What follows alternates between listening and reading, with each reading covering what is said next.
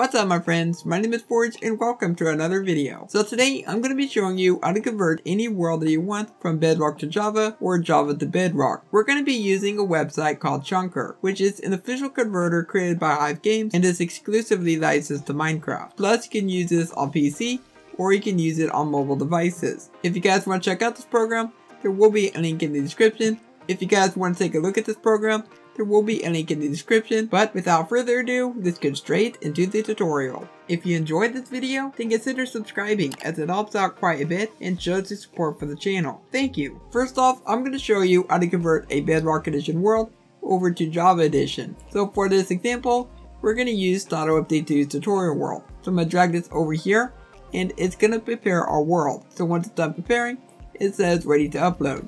Just click on start upload and it will begin uploading your world. It is now unzipping and it's going to detect the version automatically. And once that's done, it will take you to the next part where you can choose which version you want to convert the world to. If you're converting a Bedrock world, you can convert it from Java 1.18.2 all the way to 1.8.8. But if you're converting a Java world, then you can go from Bedrock 1.18.30 all the way to 1.12.0. If you guys would like to learn how to downgrade your Bedrock worlds, go ahead and click on the eye on the top right of the screen. So we're just going to go for 1.18.2. If I click on advanced mode, then we have a whole range of other tools to use, including an entire world preview. So depending on whatever you have inside your world, you'll be able to see everything, which is pretty cool. But the best part is, you can even change the dimension. Right now, we only have the overworld, because that's the only dimension that we travel to. But if you were to travel to the nether or the end, then they would show up inside this list. You got the world settings, which are the exact same settings that you would find in the create world screens. So you can change the difficulty, you can choose the generator type, and a whole range of other options to use. You can change the game rules, the restrictions, or even the weather or miscellaneous, which currently there's nothing inside of there. And then we have dimensions and pruning.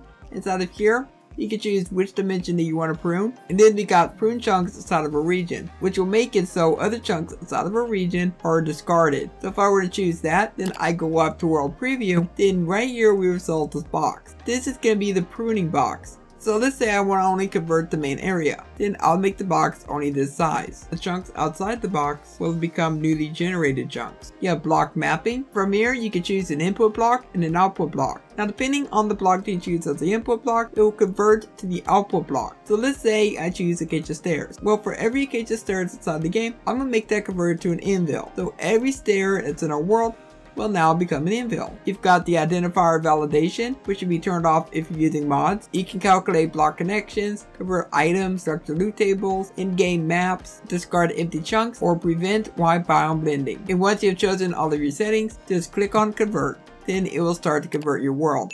And this is pretty quick. It does depend on the size of the world. If the world's bigger, then it may take longer. And we're now ready to click download and the world will start to download. But however, now we need to move this to our saves folder. I'm going to copy this, then up in the search bar, I need to type percent app data percent.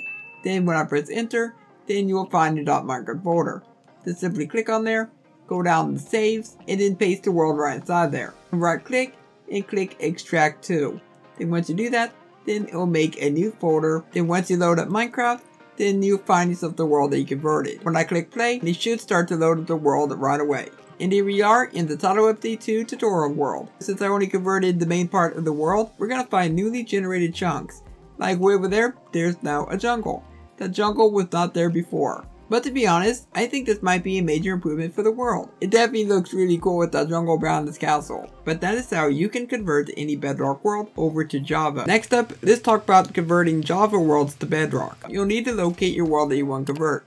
So for me, I have mine in my Minecraft saves folder, so I get to drag that right out of the program from there. Once it's done preparing, then click on start upload. Then once that's done, go ahead and choose your version just like before, so I'm going to choose 1.18.30 Bedrock. You can mess with the advanced settings if you want to, but I'm just going to skip that for the time being, and I'm going to click convert and download. And when I click download, then it will give us a .mcworld file. So importing it is very very simple. And there we go, the world import is now finished. So when I click play, you will find the world that you converted right on the very top. And here we are inside of the world.